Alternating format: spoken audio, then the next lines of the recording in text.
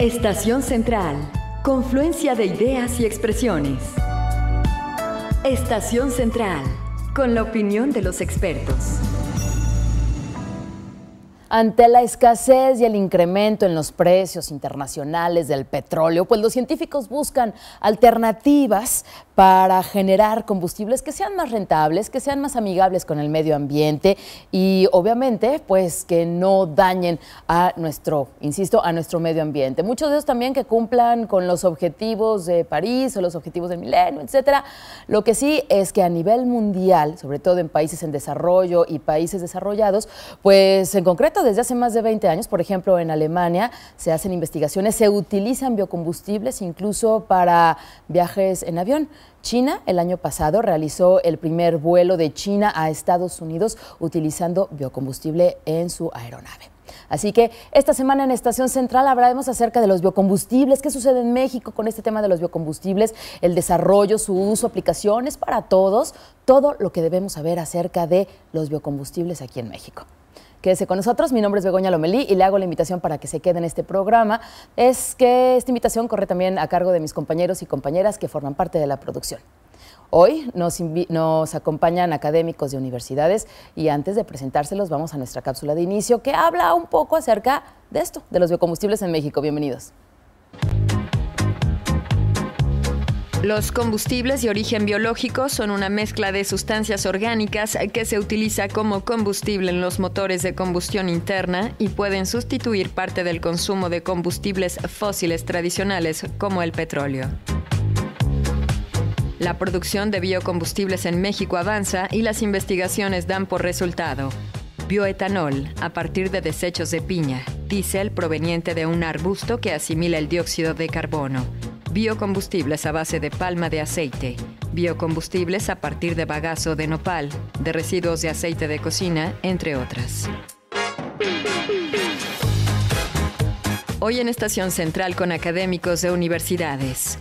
¿Son los biocombustibles una alternativa realmente ecológica y viable ante la crisis energética?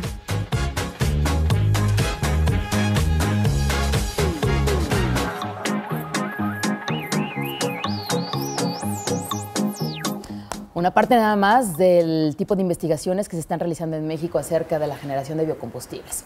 Saludo con mucho gusto a nuestros invitados. Le doy la más cordial bienvenida al maestro Sergio Ruiz Rivera. Él es profesor del Departamento de Estudios del Agua y Energía de Cutonalá de la Universidad de Guadalajara. ¿Cómo está, maestro Sergio? Buenas noches. Muy bien, buenas noches. ¿Qué tal, Begonia? Muchas gracias por la invitación. Con mucho gusto, muchas gracias. Y también saludamos con mucho gusto esta noche al doctor Alejandro Flores. Él es académico de la carrera de Ingeniería Ambiental del ITESO. ¿Cómo está, maestro Alejandro? Buenas noches. Muy bien, buenas noches. Begoña, gracias por la invitación. Con mucho gusto, bienvenidos. Los biocombustibles en México. A ver, maestro Sergio, si usted pudiera definir, o le, yo le pido una definición, una palabra o un término corto desde su punto de vista, ¿cómo estamos en la generación y uso de biocombustibles en México? Bueno, desde mi punto de vista creo que es una necesidad, ¿no? Buscar este tipo de alternativas. Este, por varios puntos, ¿no? Desde la parte económica, la parte que estamos viendo de la liberación de los combustibles fósiles, de la gasolina puntualmente, y sobre todo la parte ambiental, ¿no? Del calentamiento global, la disminución de gases de efecto invernadero. Entonces creo que es necesario el, uso y la implementación de biocombustibles en, en el país, ¿no? Y sobre todo en el Estado. Muy bien, muchas gracias, nuestro bienvenido. Gracias también. Eh, doctor Alejandro Flores, ¿cómo ve una definición, un término corto, una palabra a lo mejor? Generación y uso de biocombustibles en nuestro país. Antes que nada, pues coincido con Sergio. Y adicional a su comentario, me gustaría agregar una palabra, ¿no? Eh, la palabra que yo creo que valdría la pena eh, traer a la mesa es tenacidad. Creo que esta palabra es importante, eh, en donde involucra el esfuerzo desde varios frentes de, pues bueno, de los diferentes de las diferentes trincheras. Eh, algunos es la parte científica, otros es la parte política, otra la parte económica, incluso la sociedad intentando cambiar su forma de pensar en cuanto a los biocombustibles. Yo creo que es importante. Sí, esa forma, lo que usted dice, cambiar la forma de pensar acerca de los biocombustibles, que sea socialmente aceptado, que si proviene, por ejemplo, de, no sé, o sea, residuos de vaca, o sea, digo, ahí tenemos mucho gas butano, ¿no? Desconozco si por ahí también se pueda extraer eh, un tipo de biocombustible, pero a lo que me refiero es, si no es socialmente aceptado, pues entonces la gente no lo va a comprar, no lo va a buscar, aunque sea más barato incluso que la gasolina, ¿no? La gente, ¿qué, qué sabe acerca de los biocombustibles en México? En la cápsula primera daban como un, un acercamiento, algunos tipos, algunos ciertos, algunos no, algunos han resultado, otros han resultado fallidos. ¿Qué dicen? Bueno, yo creo que la sociedad, eh, creo que parte de, parte de la sociedad está consciente de la necesidad de dejar de, de consumir combustibles fósiles, ¿no? Pero por otra parte es, eh, algunos sectores piensan que cómo es posible que voy a meter parte de desechos a mi automóvil, ¿no? ¿Qué va a suceder? ¿Está, está preparado mi automóvil? Bueno, eh, parte de lo, de lo que se hace en diferentes frentes, en este caso la, lo que es el, la parte científica eh, no solo de México, sino en el mundo, es tratar de resolver, generar conocimiento y desarrollar tecnología para que sea esto accesible al, público. Sin embargo, pues bueno, la mentalidad del público pues poco a poco se va involucrando y aceptando este tipo de tecnología para su uso cotidiano. Así es, yo creo que el principal reto es romper los paradigmas, ¿no? Principalmente ahora, como mencionaba Alejandro, o mencionabas tú, pensar, cocinar, en el caso del gas, ¿no? Mm. A partir de desechos de animales, de vaca, puntualmente, pues culturalmente no es muy aceptado. Partir, ahora como mencionaba, combustible de desechos, también la gente, yo creo que el principal problema es que tenemos todo tan fácil o accesible a los combustibles fósiles o a los recursos que se están agotando o dañan de cierta manera al medio ambiente, que el hecho de cambiar la cultura es primordial ¿no? en estos tiempos y que se ve, yo creo que se está viendo la necesidad de hacerlo. Y que ustedes nos dirán, hay diferentes tipos de biocombustibles, a lo mejor sí, como comenta usted, ¿no? De residuos de basura tal cual, como funciona, creo que parte del metro de Monterrey, que funciona, es real esto, que funciona a partir de desechos inorgánicos o orgánicos. Bueno, toda la información no la tengo, pero tengo entendido que existe un proyecto y todavía se está desarrollando el uso de, de biocombustibles para el uso energético para movilidad, sí, transporte urbano. ¿Es, ¿Es, viable eso en México? O sea, las, las, investigaciones van avanzadas, vamos retrasados, independientemente de la opinión pública, sino cómo van las investigaciones en torno a los biocombustibles en nuestro país. Bueno, actualmente existen varias líneas de investigación en las diferentes instituciones y centros de, de investigación en México. Parte de estos abordan no, no solo la generación de conocimientos, sino el desarrollo de tecnología. En ese sentido, sí existen incluso varias patentes generadas en México y algunas de estas ya están siendo, ya están siendo aplicadas. ¿Estamos hablando de un futuro cercano de poder utilizar este tipo de patentes en México? Yo digo que sí, ¿no? Sin duda alguna, es el desarrollo, como mencionaba, de tecnología de investigación se viene haciendo de ya varios años atrás.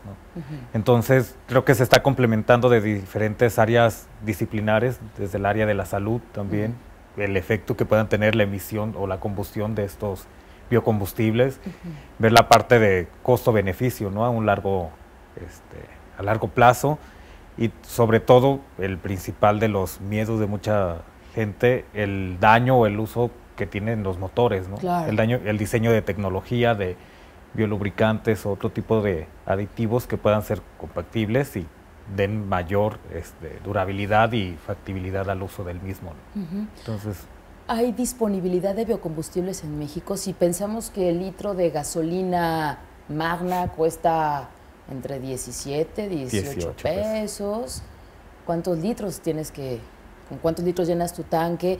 Y si es accesible, una persona que diga, es que yo ya no quiero estar invirtiendo en gasolina y quiero pues, buscar otro tipo de alternativas. Creo que la disponibilidad sí la hay.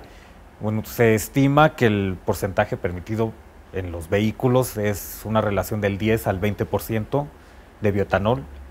Esto dependiendo, bueno, hay que hacer eh, o leer las especificaciones del manual del vehículo para saber el porcentaje en el que debe de, de llevarse la mezcla. ¿no? Entonces es un pequeño porcentaje que creo que sí se puede dar abasto en todo, en todo el país. Y hay estados que tengo entendido que ya lo están implementando, esta combinación.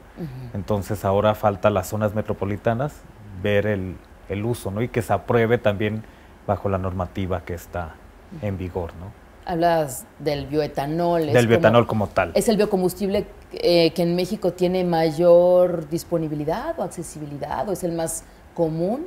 Ahorita hablamos de los otros, pero el bioetanol se puede decir que es como el más común o el biodiesel.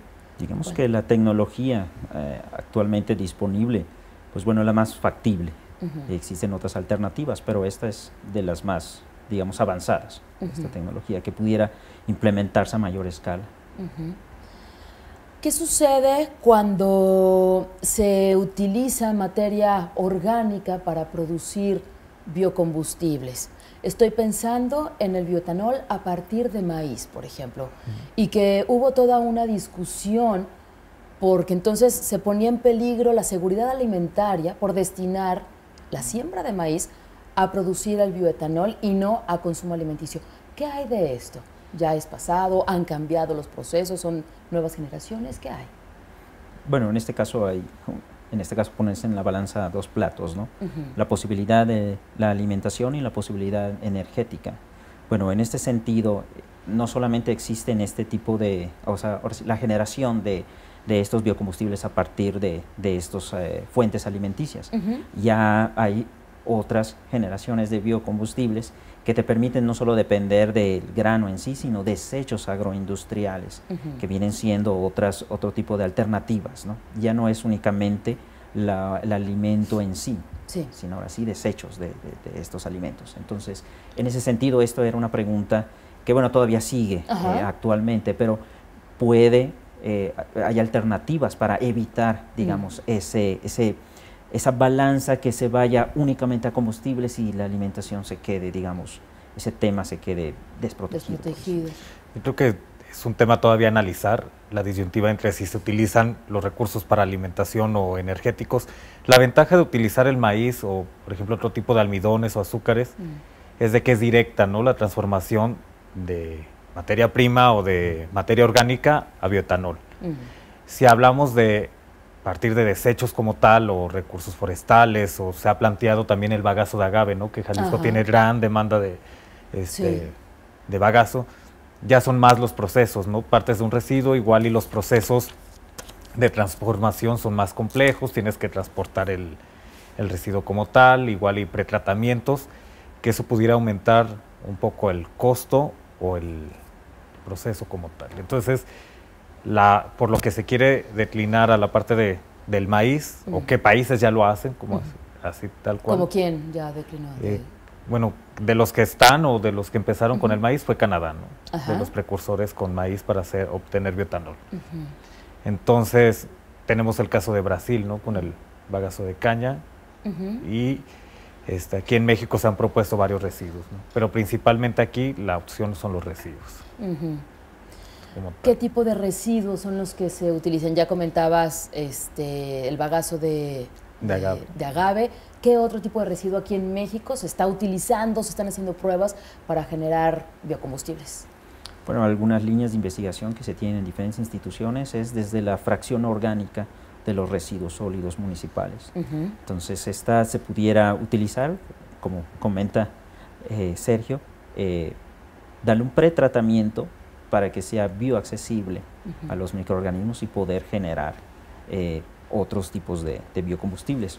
Principalmente pudiera ser biogás o pudiera ser mediante otros tratamientos eh, bioetanol. ¿Estamos hablando de materia orgánica o inorgánica? Orgánica. La fracción orgánica, digamos, sería, por ejemplo, residuos de naranja, residuos orgánicos, cáscara de plátano, etcétera. Huevo, etcétera. Sí, como comenta Sergio, a diferencia de los alimentos eh, directamente se pudieran generar o con menos pasos. Sin embargo, estos, pues bueno, al ser desechos, tener una gama amplia de componentes, digámoslo así, es más complicado porque está en fase sólida o semisólida. Habría que tratar de primero hacerlos disponibles a microorganismos para poder transformar esto ya en productos bueno, como biocombustibles.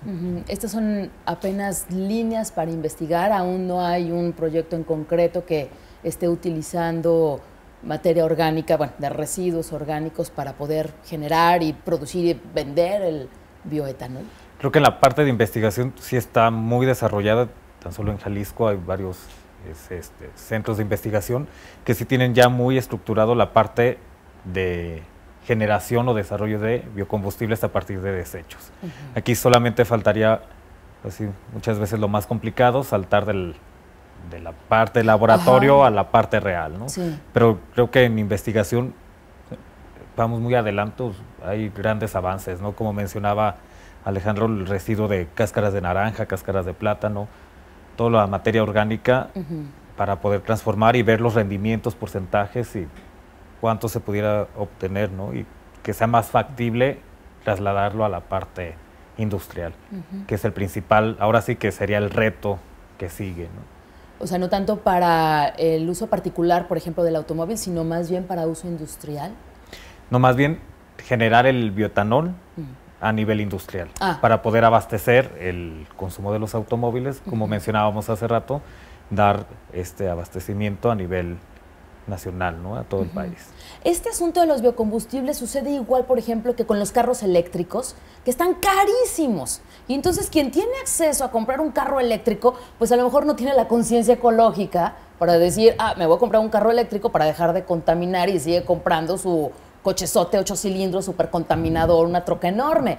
Sucede lo mismo en el caso de los biocombustibles, o sea, que sean muy caros y que sean incluso más caros que la gasolina común y corriente o el mismo diésel como se ha utilizado?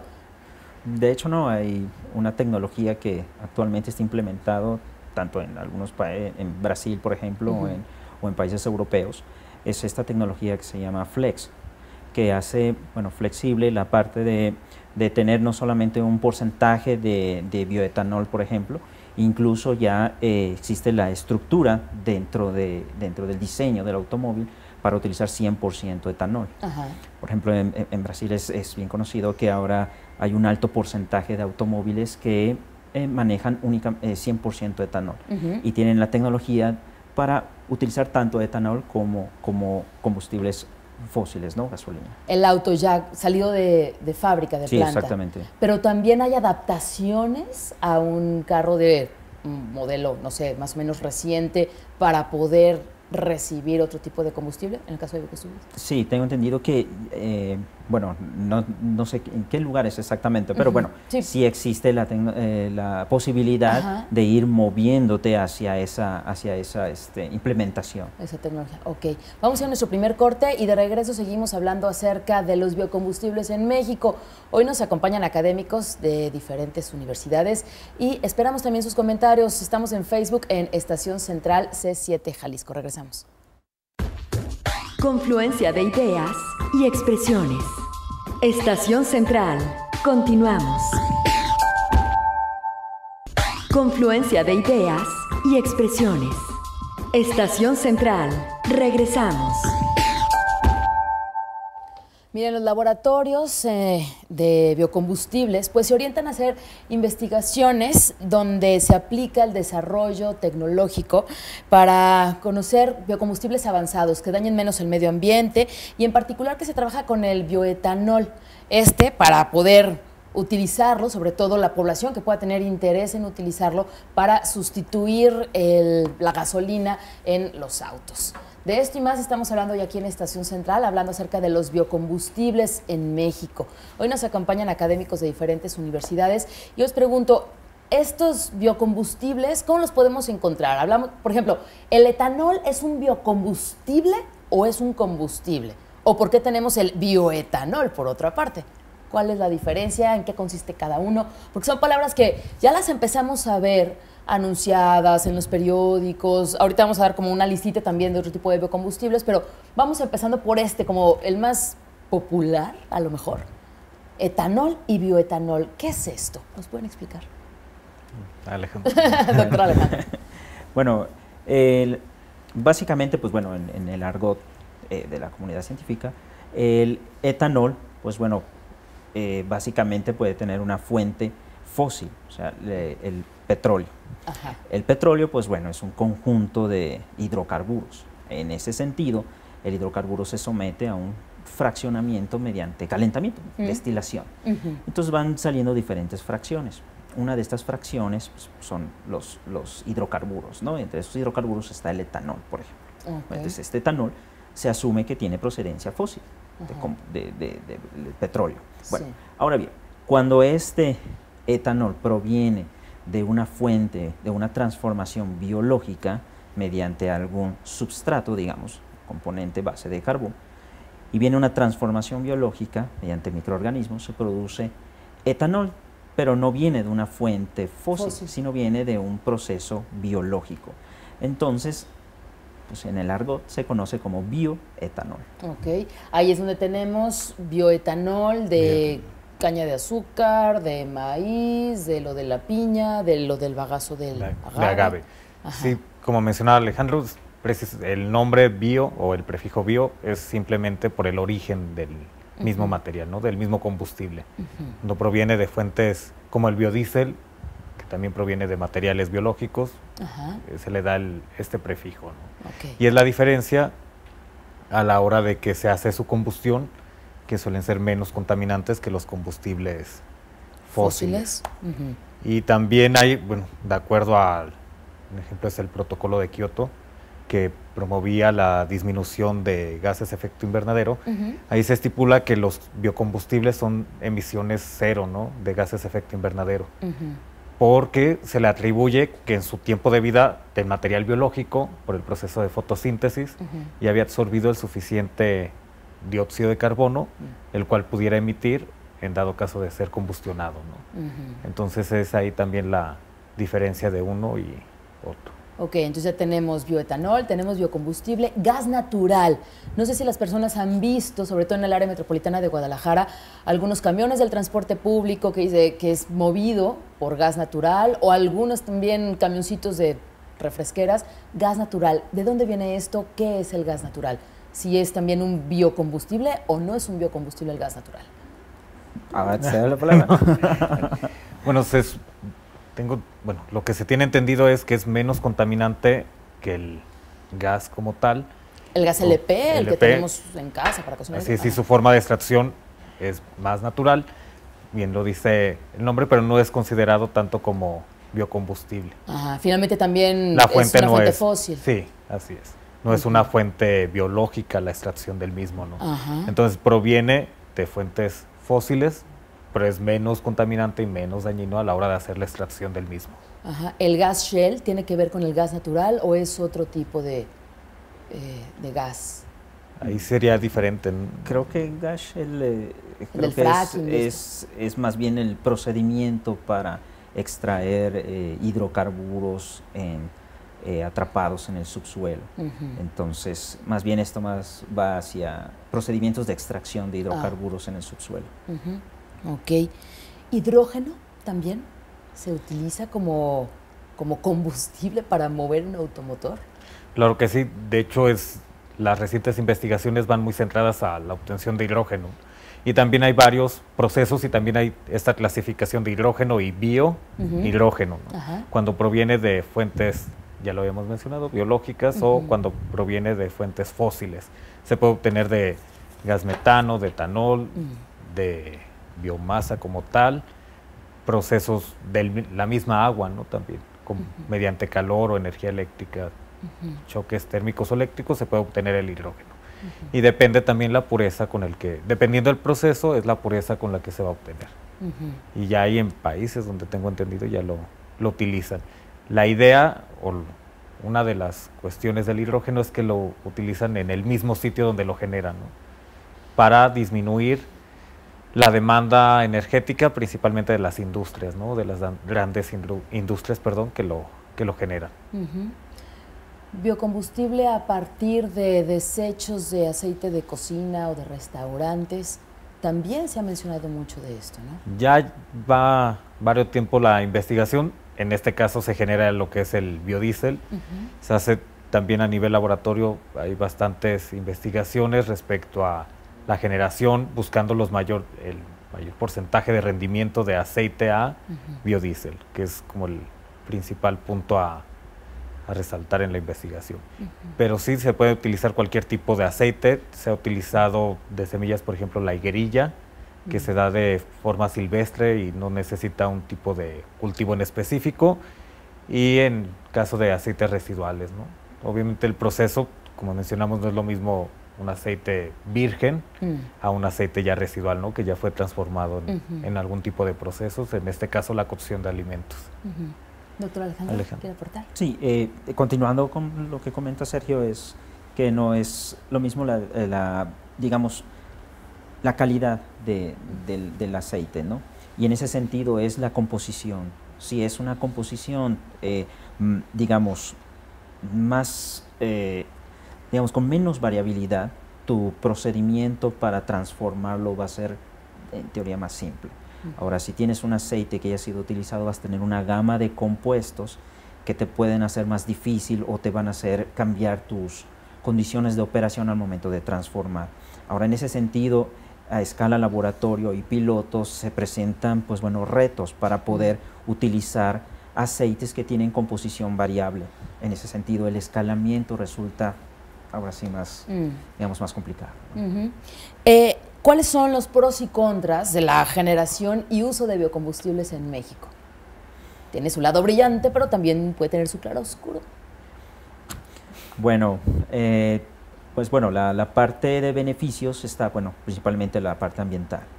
La parte, digamos que no siempre se ve... Es oscura, oscura, maestro. es digamos que no siempre está disponible una gran cantidad de estos materiales o que puedan surtir a un proceso continuo. La variabilidad que pudiera haber en este tipo de procesos es algo complicado en, primera instancia. Y dos, no siempre se tiene eh, la tecnología de escalamiento, que es a lo que, a lo que voy. Digamos, esta es una de, de, las desventajas y en ese sentido se ha estado trabajando en el desarrollo de tecnología en México. Pues sin duda alguna de la, principal ventaja es la ambiental. creo que cuando se piensa trabajar con biocombustibles hay que considerar cuatro importantes cualidades, ¿no? que sería el transporte, el costo, porque muchas veces partir de un residuo no es de que sea gratis, ¿no? tiene un costo partir de ese mismo residuo, la disponibilidad y la abundancia. Actualmente también se quieren desarrollar proyectos donde se integren varias tecnologías o energías renovables. ¿Para qué? Para evitar la intermitencia, porque esa es la principal desventaja. Tenemos, por mencionar solamente un ejemplo, la energía solar o la energía del viento, eólica, la intermitencia de las mismas y con los biocombustibles no es la excepción. Entonces, acoplar varios tipos de energías para abastecer. Y como mencionaba, y completando lo que mencionaba Alejandro, el principal problema yo creo que es ese, que no es el, la versatilidad o la, lo variable que es la diferente tipo de materia orgánica. Y eso puede complicar un poco trascender a mayor escala en la parte de los biocombustibles. ¿En otros países tienen estos mismos retos, estas mismas problemáticas, que no hay tanta accesibilidad o disponibilidad? ¿O es solamente en México por el desarrollo que se está llevando a cabo y porque sí probablemente vamos no sé qué tan tarde vamos en esta carrera con los biocombustibles o por los biocombustibles. Bueno, sí, hay otros países que ya tienen la cultura, digamos, de separar eh, los residuos orgánicos y se tienen ya políticas ¿no?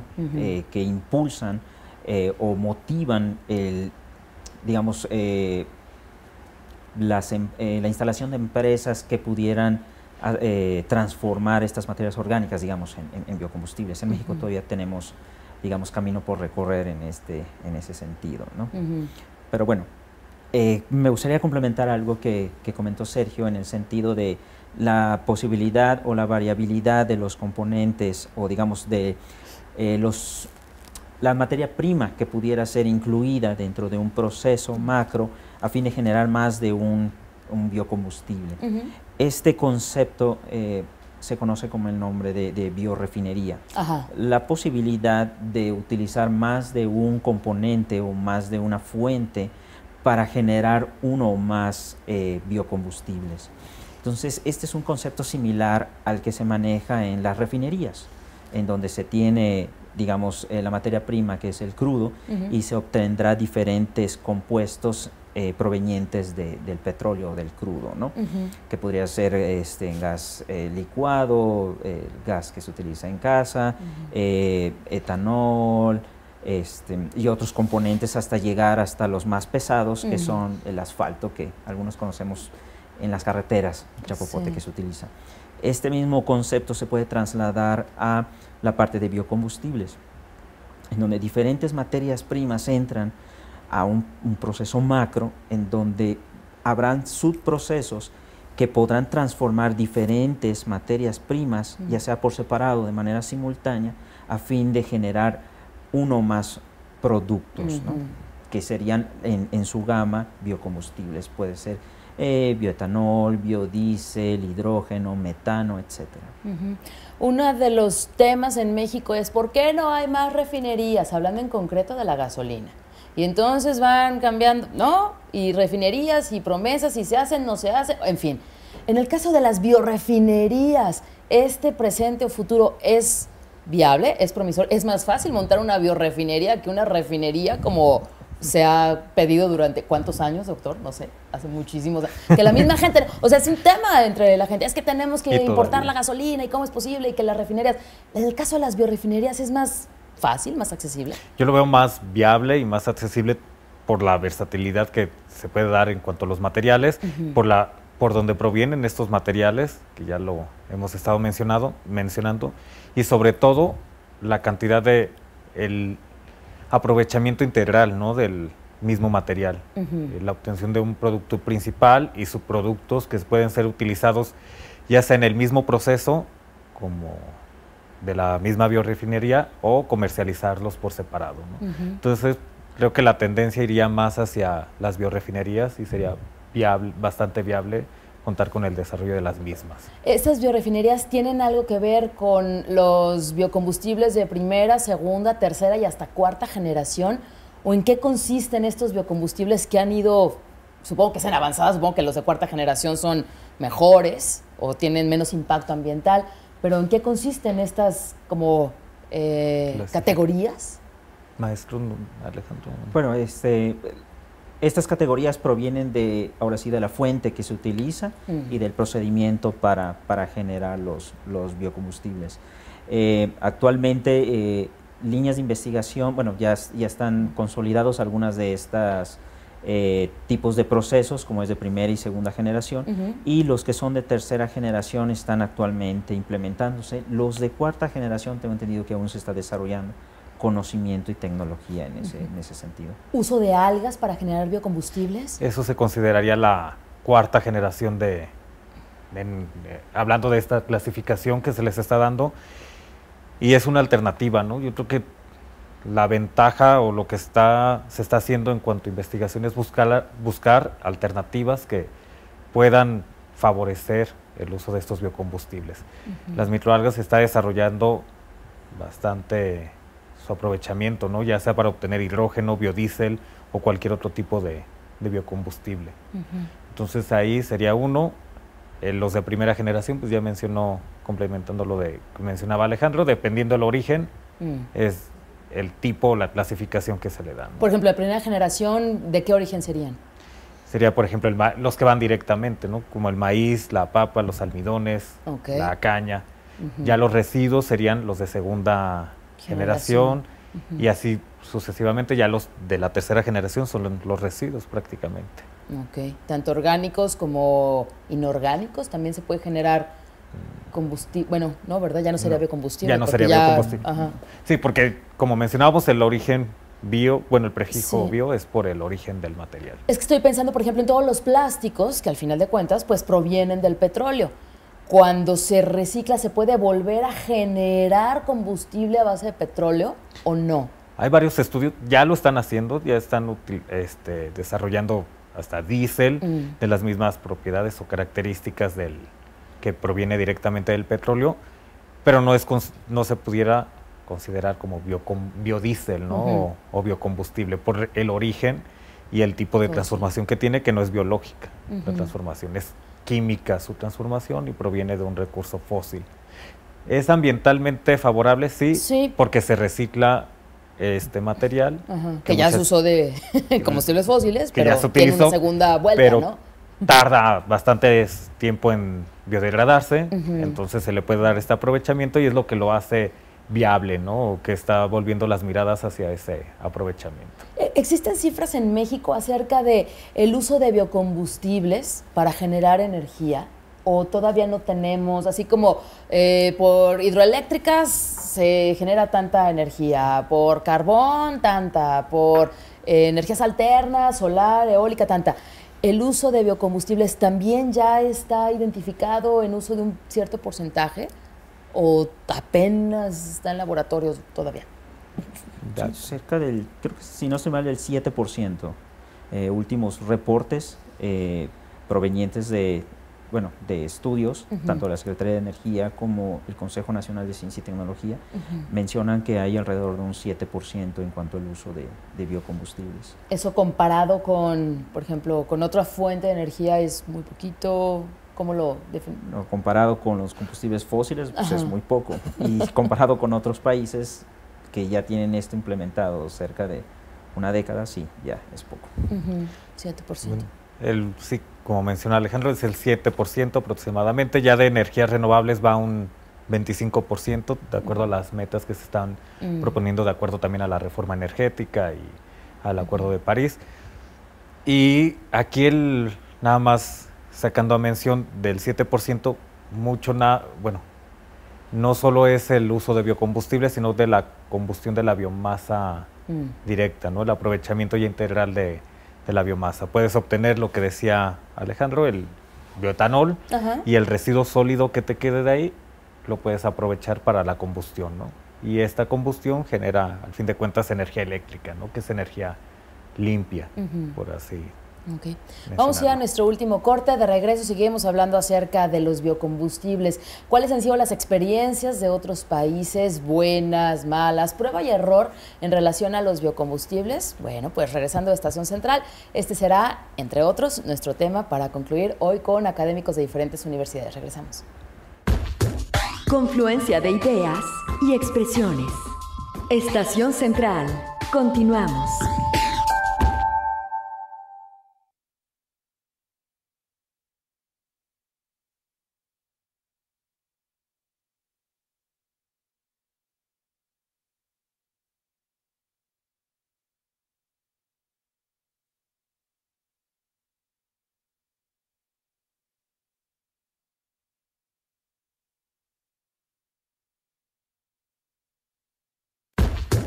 Confluencia de ideas y expresiones.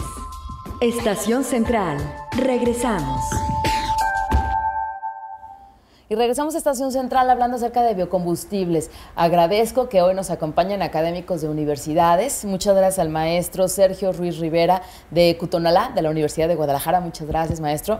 Gracias, gracias también al doctor Alejandro Flores de ITESO, eh, de Ingeniería Ambiental del ITESO. Muchas gracias por acompañarnos, doctor. En el bloque anterior quedó esta pregunta que yo la puse aquí en la mesa. A ver, casos de éxito y también fracaso, como ya ustedes nos dirán, de otros países. Yo en la semana estaba leyendo, la semana pasada leía yo una nota donde decía que China ya había hecho el primer vuelo transoceánico de China a Estados Unidos utilizando biocombustible en su avión. Pero la nota también decía que hace 20 años Alemania ya había hecho eso con su línea aérea que es Lufthansa y que justo, o en el 2011 me, creo, sí, en el 2011, perdón, ya lo había hecho Alemania, siendo que desde hace 20 años habían empezado con pruebas, laboratorio, y hace seis años iniciaron con estos vuelos. Entonces, todo esto nos habla de prueba, error, sigo, sigo este camino, no lo hago, eh, las mismas patentes, etcétera. Platíquenos de casos de éxito o fracasos también en otros países, que supongo que eso también ha, generado eh, biocombustibles de segunda generación, de tercera, de cuarta. ¿Qué hago con esto? Ah, pues platíquenos qué ha sucedido con estos otros países de primer mundo o emergentes, como fue en su momento Brasil, parte del BRIC. Bueno, retomaré el ejemplo que has mencionado, Brasil, que, bueno, a raíz de las crisis de petróleo impulsó el en aquel momento el gobierno la producción de biocombustible.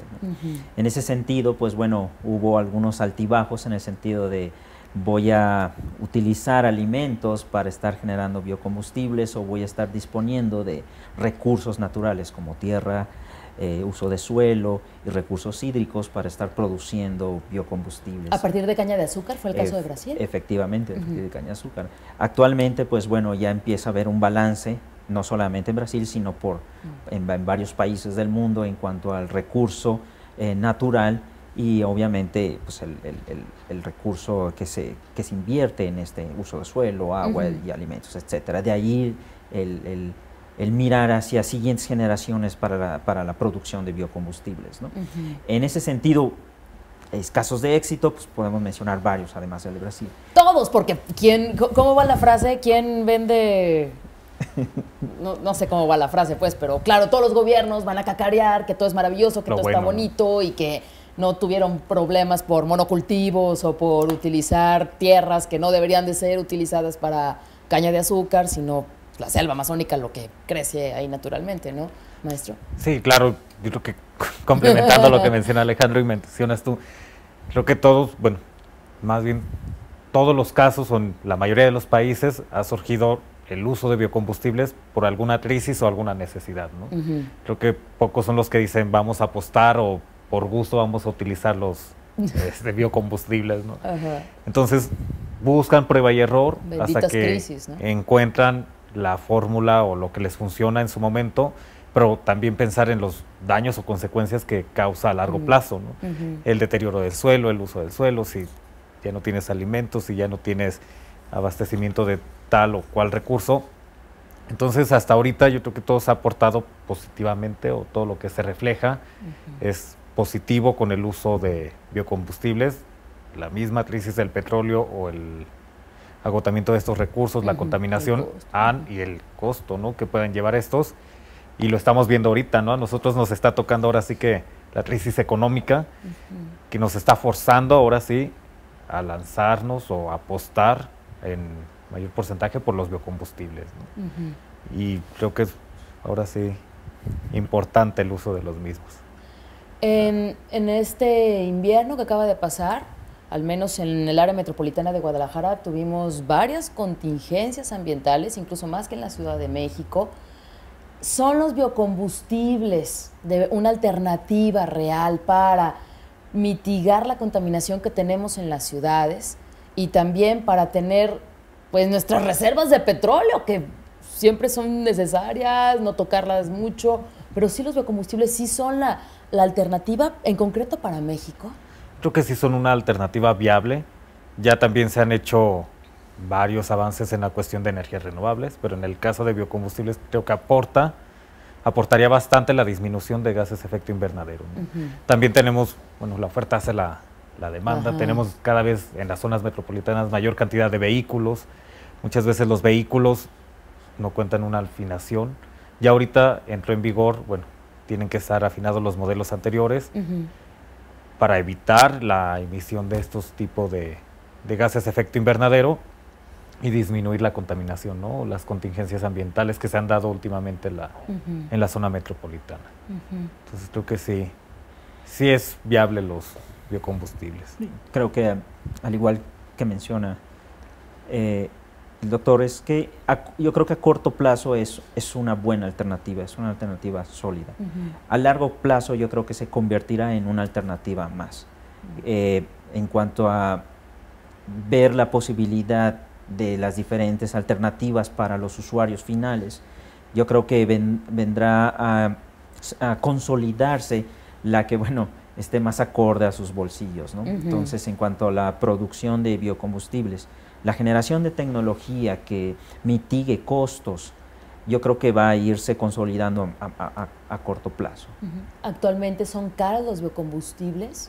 Pues ¿Cuánto cuesta el litro de bioetanol o algo así? En promedio de lo que está reportado es 14 pesos el, litro, más o menos. O sea, o sea como 4 pesos menos, que, la, magna. Así es.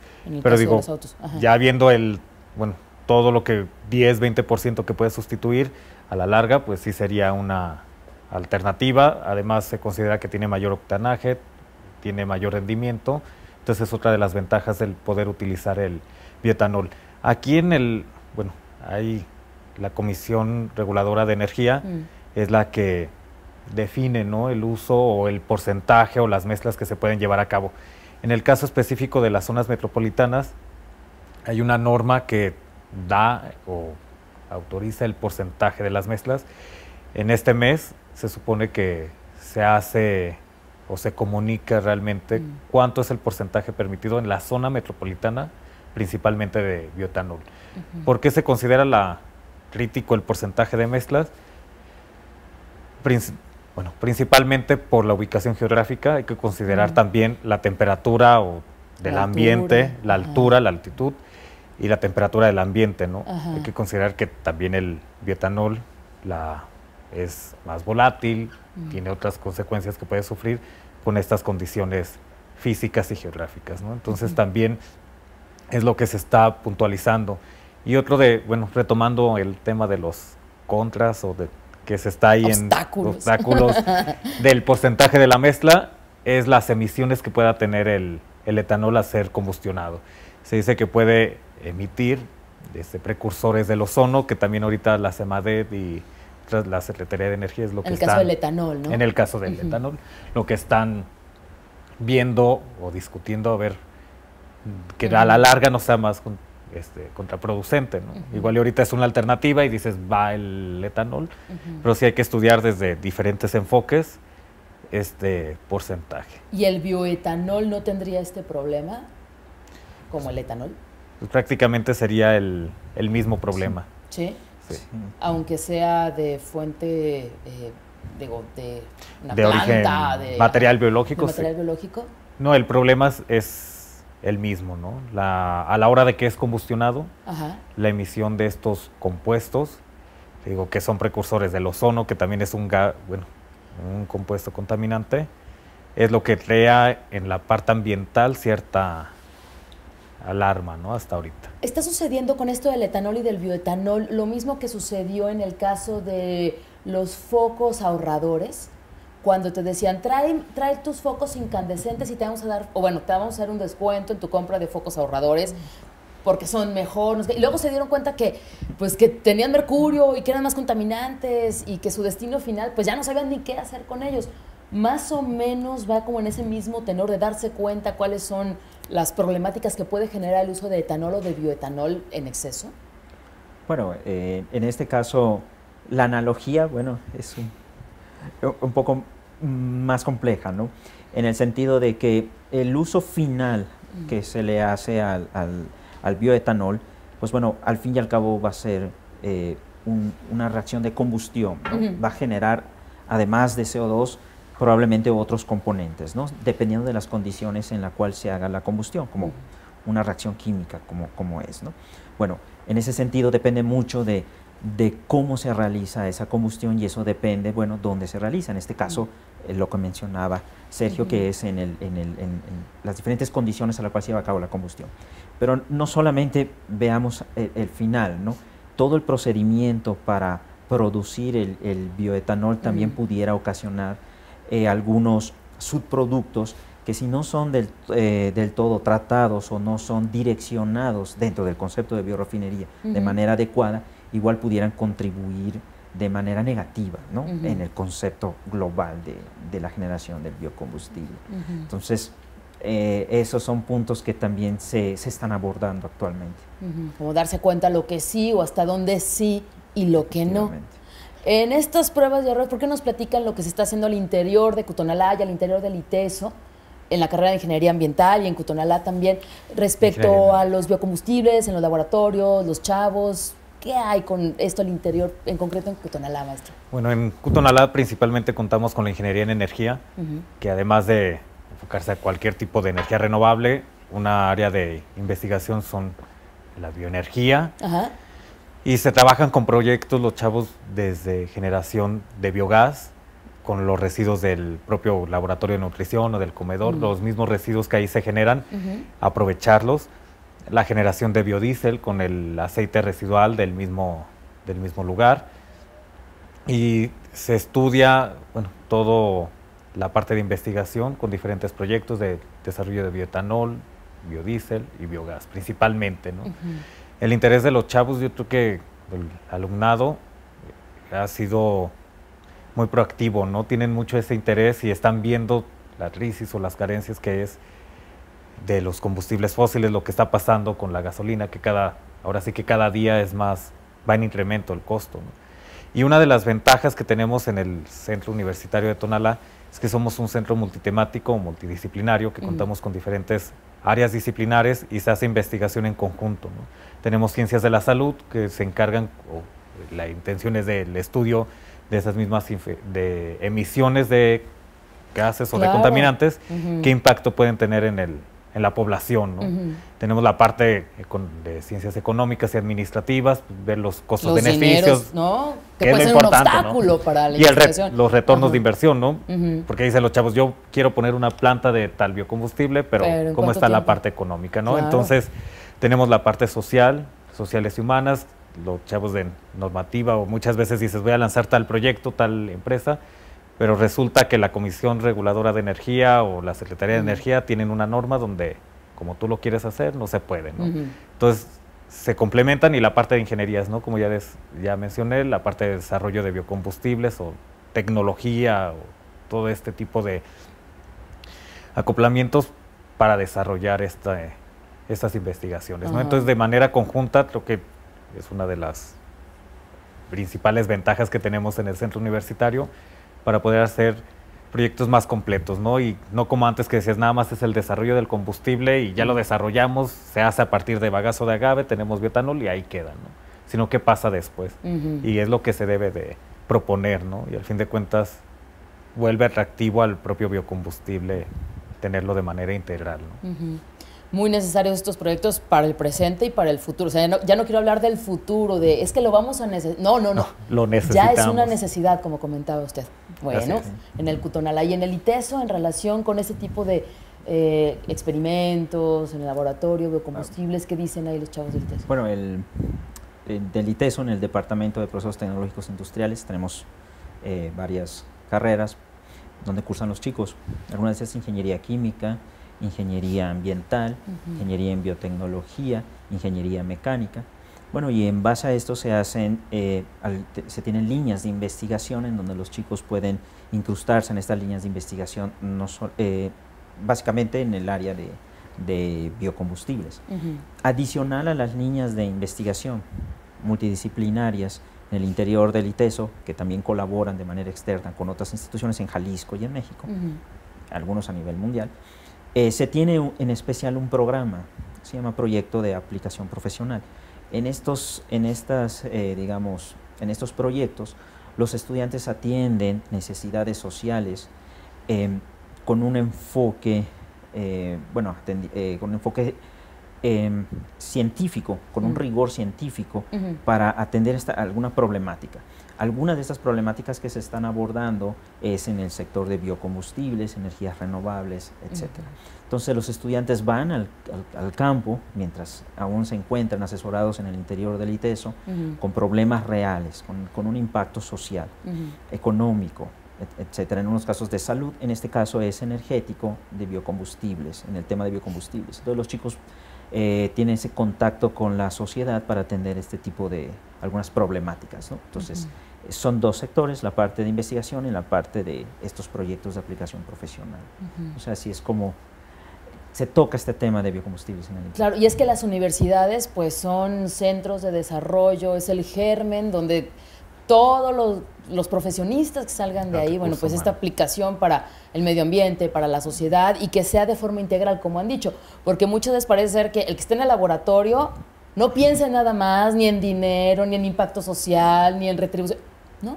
Se tiene que pensar en todo eso, si no, pues los proyectos se caen, no llegan a nada y se quedan solamente en sueños que, pues muy bonita tu iniciativa, pero pues no llegó a ningún lado y se perdió. De eso se trata, ¿no? Así es.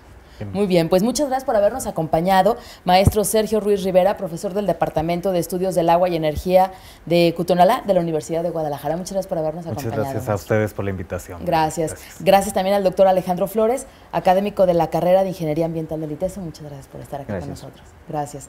Nos despedimos. Muchas gracias también a usted. Vamos a darle seguimiento durante esta semana al tema de los biocombustibles. Hoy, como ya vio, con académicos de universidades y el miércoles nos estarán acompañando personas que están desarrollando y que tienen también a disposición el uso de biocombustibles. Y el viernes, no se lo pierda porque tenemos a periodistas que estarán analizando este tema a nivel local y a nivel también nacional. Esto fue todo por hoy. Esto fue Estación Central. Que pasen muy buenas noches. Hasta el próximo miércoles. Gracias. Estación Central. Confluencia de ideas y expresiones. Estación Central. Con la opinión de los expertos.